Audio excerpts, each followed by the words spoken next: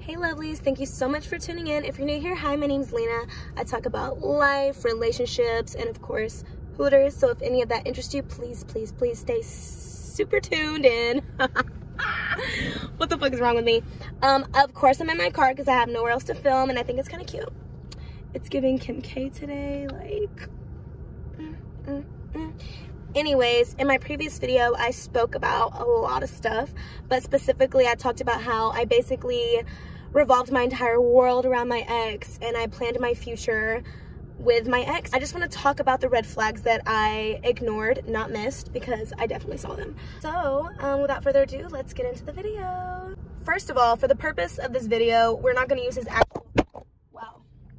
Okay, for the purpose of this video, we're gonna call my ex Joe. I am obsessed with the show You, and I cannot wait for the next season to come out, and it's giving very much Joe. So let's get started officially. I met Joe on Instagram. Him and two other guys who I did not know were his friends at the time DM'd me about these jerseys that I was modeling for this podcast, okay? So I basically sent all three of them the same freaking message.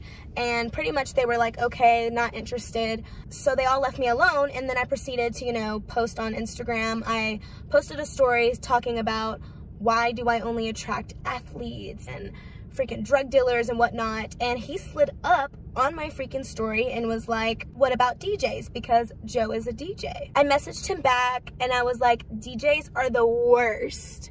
He so-called got in his feelings and stopped messaging me, which intrigued me because if you don't want me, I'm gonna want you. Toxic. Gave him my number, we going back and forth, you know, flirting, talking about ex, all this type of shit. When I first met Joe on Instagram, I was working at Hooters and I really wanted him to come see me. So I kept telling him, hey, come see me at work, come see me at work. He would kind of allude to the fact that he would come see me, but it was never like an actual, like, yes, I'm coming, I'm here type of thing. So he never actually came to see me, which I thought was weird because if you're flirting with me, I'm flirting with you. Why not come see me at work? It was my thing. Any guy that I was like flirting with, I'd be like, hey, come see me at Hooters. And they would come see me. So I'm like, why is this mother not coming to see me at work? So somewhere in between us talking, I started working at Twin Peaks. Again, I asked him, hey, it's like my first day on the floor, wanna come see me, give me some good luck money, you know, something like that. And never came, never fucking came. So I'm like, okay, this is getting really, really, really weird. One night he asks me to come over. Mind you, I'm leaving work. It's been a long night. I had a long shift. And when I get there, I text him, no response. I sit there, maybe like five minutes goes by, send him another text message, doesn't respond, call him a few times, never responds. I told him, I was like, look, I'm not this type of girl. You're not gonna have me on hold. I'm not gonna, you know, go out of my way to come see you and then you just not even answer your phone. Like what the, are you, like what is this? So I ended up driving off. Not even 30 seconds of me going up the street, he calls me and he's like, I'm so sorry, da da da da. I actually never answered the phone I, that I can remember. But I do know that he texted me for a fact talking about, I'm so sorry, like, please come back. I did not go back. I was very stubborn and I was like, I'm actually going to go home now because I'm already 15 minutes away. No, I wasn't. But I was just like, you're not going to waste my time and then get rewarded for it. So I was very proud of myself that I did that. However, I did end up going back another night. When I got there the second time, I realized that there was no car. Like, I was just confused. I'm thinking like maybe they have a garage. I don't know. I just noticed that there wasn't a car and he wanted me to park at the next door neighbor's house because there wasn't actually a neighbor living there. Why do you want me to park at the next door neighbor house and there's no car in y'all's driveway? Confusion. But you know, he talked up a big game like I have all this stuff prepared for you. We can watch a movie. Flirting with me for, for weeks. Sorry. and so when I get inside, I'm like, oh my gosh, hope I don't get kidnapped. Mind you, I had already had like a shot or two at work, so I drove tipsy. I'm so sorry. Yes, I did drive tipsy. When I get in there, we go up the stairs, being really quiet because he lives with his grandparents, and I'm over here creeping up the stairs. First of all, they're squeaking, so I'm trying to like match his footsteps. Like imagine like me trying to walk at the same speed he's walking, heart racing. I was just like, why am I sneaking inside of this man's house? Why? We get in the room. I'm talking, talking, talking, talking, talking. I do love to talk, and I can admit that I probably talk too much. So that wasn't like a big sign for me. I was thinking maybe he's just a listener. But after like a couple hours, I don't think he had said a word, you know? Like not at all. He made like a few gestures. I'd ask him a question. He would like shrug. Sometimes he wouldn't even respond. Um, he nodded his head a lot and wasn't even really looking at me. I remember him like looking down at his laptop, going over to his board, starting to mess around with his music a little bit. And I was like, am I annoying you? I feel like I'm annoying you. You're not really saying anything. But I was so, you know, excited and just like tipsy that all of that kind of just went over my head. Like I didn't really care that he wasn't talking to me. At that point, I was like, can I take a shower? Been at work all day. I literally smell like fucking food. I, you know, go to his bathroom or whatever. As I'm starting to like look around in the bathroom, being a little bit nosy. He comes in the bathroom and I'm like, oh, hey, like I was just about to take my clothes off and get in the shower. I'm standing there, I'm like, are you gonna watch me take a shower?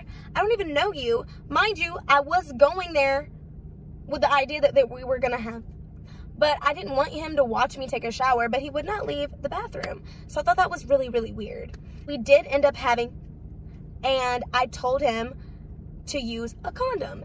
I was really drunk by this point. He had given me some more alcohol, so I thought he did put a condom on because there was a pause where it seemed like he like kind of went to the dresser and started looking for one. Seemed like he put one on, but it didn't feel like it. And I'm very, very allergic to condoms. So I was like, okay, wow, this is like the best I've ever had with a condom.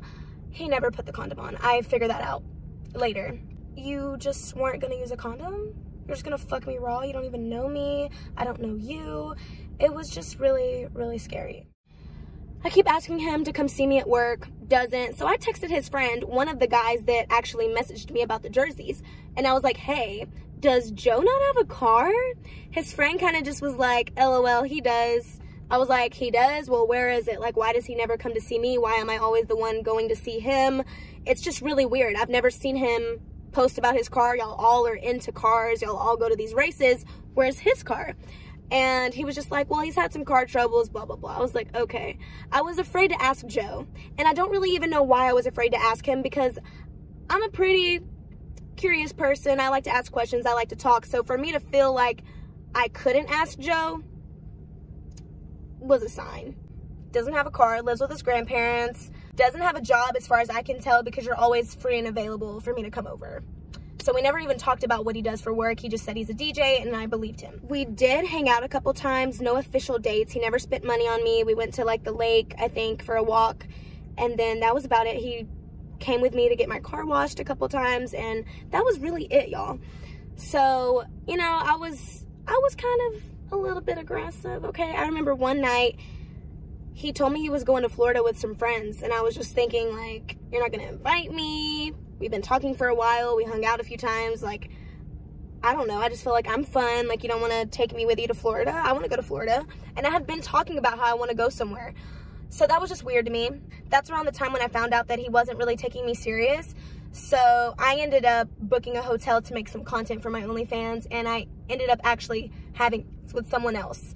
Um, and that was like during my and Joe's talking stage, I guess. Comes back from Florida, maybe a week or two goes by, and this mother tells me that he's about to go to jail. Joe is about to go to jail. What did you do? You know, I'm sitting here like, oh my gosh, like, I don't know, like, uh, what did you do? What did you do, Joe? Long story short, Joe never really told me why he was going to jail. He said he didn't feel comfortable telling me these things when he doesn't know who I am. Um, you know, he doesn't really know me like that. And I'm like, okay, I have a daughter. So I'm thinking like, oh my gosh, what if he's a child molester? What if he got in trouble for doing something with a child? Like I can't be with someone who's done something like that. So I asked him, he was like, no, like it's nothing like that. So I'm like, okay, whatever. So I stick this this shit out, y'all. I am the ride or die bitch. I held his ass down while he went to jail, calling him all the time, putting money on his books. When we were on the phone, he would always get short with me and get angry. And I would kind of just like you know, brush it under the rug because I'm like, obviously you're in jail. Like, your life sucks right now. I don't expect you to be happy. And maybe me talking about, oh, like, what are you doing? What do you mean? What am I doing? I'm sitting in jail. You know what I'm saying? So I could kind of understand, like, maybe I'm annoying. So I just kind of, like, didn't really think much of that. But looking back, he did have a really short temper. And I could see the anger, you know, I could see it. And then I found out that another bitch was calling him while he was in jail because he told me and I was like, okay. Like apparently the girl that got him in trouble, which side note, nobody got him in trouble. Like, Joe, keep it real. You got yourself in trouble. You were doing wrong things, hanging out with the wrong crowd, doing stupid stuff. So it's your fault why you got in trouble. Don't blame the bitch.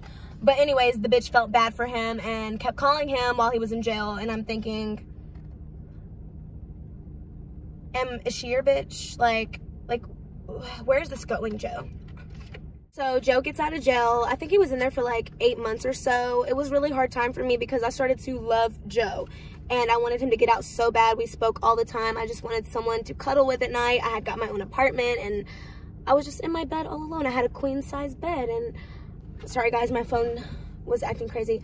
But yeah, needless to say, I held that motherfucker down while he was in jail. Let him come live with me his grandparents and his mom were like, no, we don't want him to move out. We don't want him to live with you. Please, like, da da da. Anyways, I was like, motherfucker, you're gonna come live with me. Okay, I'm gonna take care of you. Got this mother a car in my name.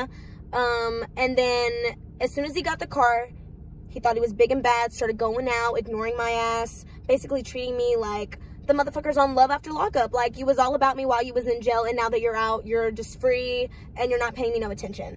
So, I you know, I was feeling some type of way. Yes, I was because you're sleeping in my bed. You're not paying bills.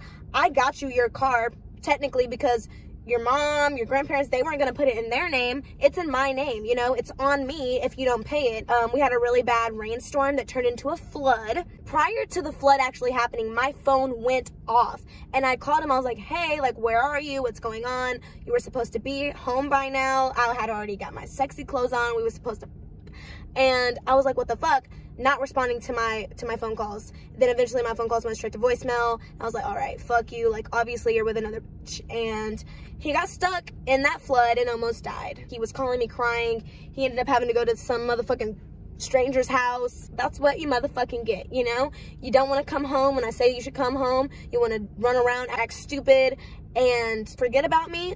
Okay. Well, you almost died. So, and I feel like if I would have just stopped talking to him as soon as I found out he was going to jail or or as soon as I found out he didn't have a car and he didn't tell me and he just kept on acting like he was going to come see me at work but never did. There was just so many things that I wish I would have just been like, you're cut off. It's okay. I'm good on that. But I didn't. Held him down, stuck it through, I've really enjoyed this video while making it for you guys and I hope that you guys enjoy it and I hope that you guys can learn something from it because that is why I'm making this video. Not trying to throw Joe under the bus if you know who Joe is.